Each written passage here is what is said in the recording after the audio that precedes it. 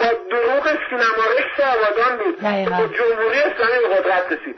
تنها چیزی که نظام پادشاهی ایران رو از نابود کرد من الان عنوان می‌کنم. دروغ سینما رکس آبادان بود. 500 تا ایرانی رو در آتش سوزوندن جزخانه کردن. خود خمینی دستور کشتن اونها رو داد در سینما رکس آبادان و همین بیبیسی فارسی زبان اومد به دروغ گفت کار شاه بوده. بعدها معلوم شد دستور خود خمینی بوده و پشتی خبر هم خامنه‌ای بود. خودش رفت و با این کارشون شرکت نفت ایران رو که می‌دونید چیزهای نفتی در خوزستان بود به اعتصاب کشوندن و کمر دولت پادشاهی ایران رو شکستن خانم عبدی اینها با دروغ به قدرت رسیدن و با دروغ هم سرپا خواهند بود. رواج فرهنگ دروغ در ایران کاری است که بی بی سی و آمریکا می‌کنه و من و شما اگه سکوت کنیم خائنیم.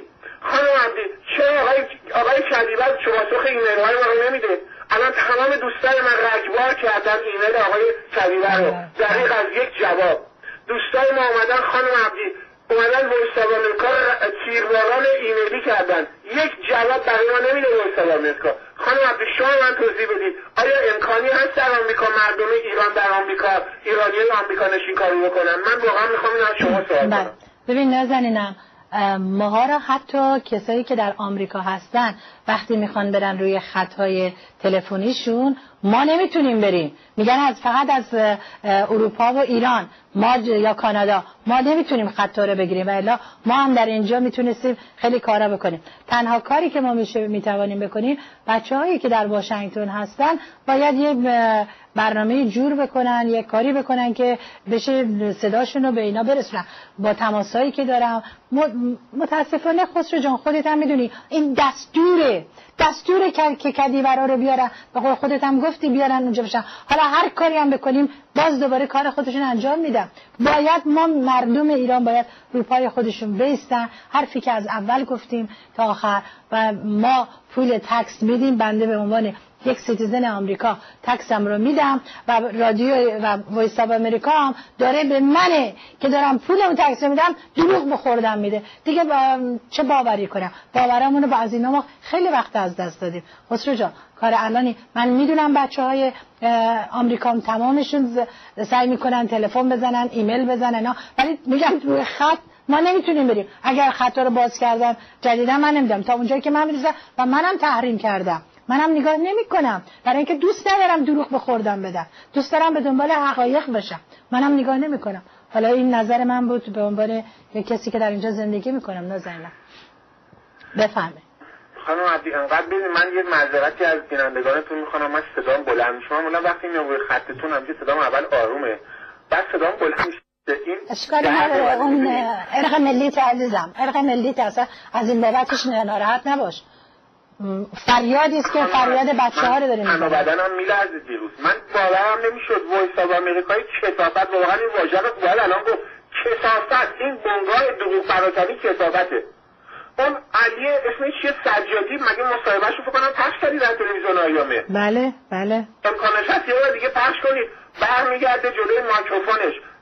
سردبیر چیچی چیچی Voice of America میاد میگه ما صدای اپوزیسیون ایران نیستیم ما فقط خبررسانی می‌کنیم و هیچ علاقه هم نداریم صدای اپوزیسیون باشیم اینا رو میگه ولی کدیور رو دعوت می‌کنه. کسی که همین آقای علی سجادی که با افتخار در برنامهش میگه با بچه آخونده خانم عبدی الان تمام کسایی که اونجا نشستن اکثرشون بچه آخوندن نوریزاده رو که افشا کردید. سجادی رو که گفتیم. شما در وایس آمریکا الان فقط کسایی رو می‌بینید. که عضو حزب توده ایران بودن. حزب توده بازم تکرار می‌کنم. عضو حزب توده بودن. یا اینکه در سپاه پاسداران فعال بودن یا شکنجهگر بودن یا تروریست بودن مثل آقای خانبابا تهرانی یا اینکه عملا بسیجی هستن. خانم عبدی من اسم نمیارم. ولی من می‌خواد یه پشت برنامهتون اسم میارم.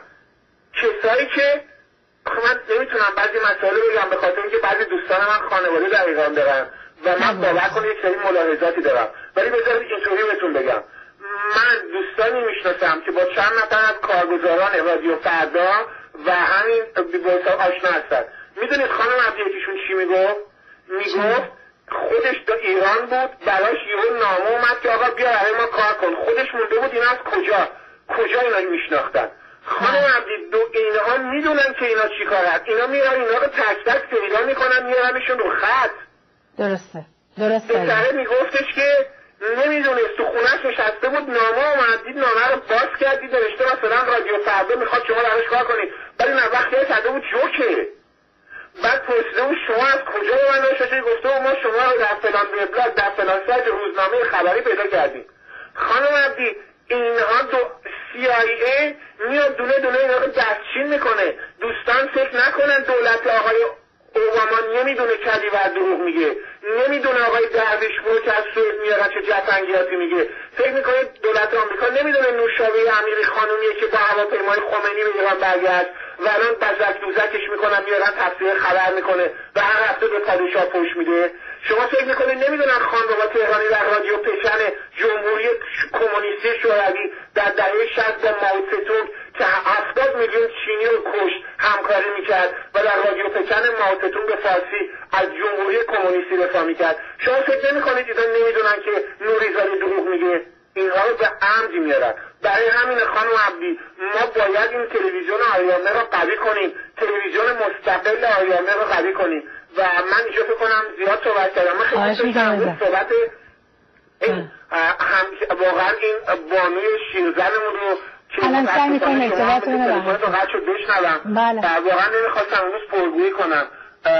نمی‌دونم اگه سوالی هست در خدمتتون هستم اگه نه با اجازه میگم می‌خواستم که نازنینم از پارس دیلی نیوز. خانم فرحی در اونجا هستن درسته؟ فرحناز. فرحناز. و فرحی هم شنیدم اینا در هر صورت چون کلیپ های برنامه شما و منم در اونجا گذاشتن یک سپاسگزاری داشته باشیم با هم و همینطور هم که مقالاتی که حکایی هستش که من ازش استفاده می‌کنم. واقعا سپاسگزار هستیم و یکی از به خبرگزاری هایی هستش که می‌تونن مردم بهش تکیه بکنن چون خبرهاشون رو درست میگن. شما بیشتر باشون در تماس هستی می‌تونم یه پرسشی در این زمینه داشته باشم. خواهش می‌کنم. بفرمایید خانم عبدی. من در خدمت شما خواهش می‌کنم. ما می‌تونیم روی این به اصطلاح خبرگزاری کار بکنیم و خبرهاشون هم بگیریم و سپاس منم به هم به خانم فرحی اینجور که من شیدم هم خانم فرهنازم برسونین. و تشکری داشته باشیم برای کلیپ هایی که می‌گذارن برای خبرهایی که می‌گذارن. واقعا سپاس من به نوبه خودم سپاسگزارم و میبالم که یک بانوان عزیزی هم در اونجا هستن که این کارا رو انجام میدن.